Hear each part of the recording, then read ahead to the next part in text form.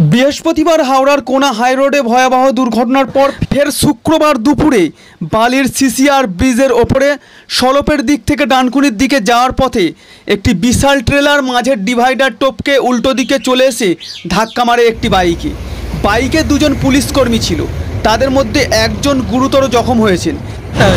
CR ব্রিজে আমি এসে দেখলাম, একটা টেলার কোনার দিক থেকে আসছিল। টেলারটা ডিভাইডার ক্রস করে উল্টো দিকে ডানকুনি থেকে যে গাড়িগুলো আসছে সেই রাস্তায় চলে এসছে মানে যেটা কোনার দিকে যাচ্ছে। আহত হয়েছে?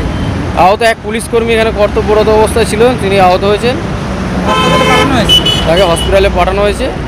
এই মুহূর্তে কি যানজটের সৃষ্টি না এই মুহূর্তে যানজট নেই ট্রাফিক সিস্টেম নর্মাল আছে। আটক করা হয়েছে? টেলারের ড্রাইভারকে আটক করা হয়েছে। একবারে উল্টো দিকে ডিভাইডার ক্রস করে একটা বড় এটা বড় আপনারা দেখতেই পাচ্ছেন ডিভাইডার ক্রস করে গাড়ি এই রাস্তায় আসছিল উল্টো দিকে নেমে গেছে পুরো গাড়ি। আপনার নাম? আমার নাম নিতাই দেশমুখ। কীভাবে ট্রেলারটি রাস্তা টপকে বেপরোয়াভাবে উল্টো দিকে চলে এলো তা স্পষ্ট নয়। তবে ট্রেলার চালককে আটক করা হয়েছে বলে জানা গিয়েছে।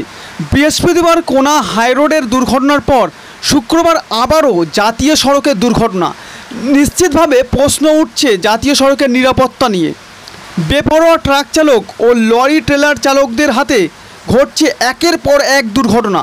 নিস্তার পাচ্ছেন না পথচারী থেকে পুলিশকর্মী, বিশেষ করে বাইক আরোহীরা। যার ফলে আতঙ্কের মধ্যেই জাতীয় সড়ক ধরে যাওয়া আসা করতে হচ্ছে সকলকেই।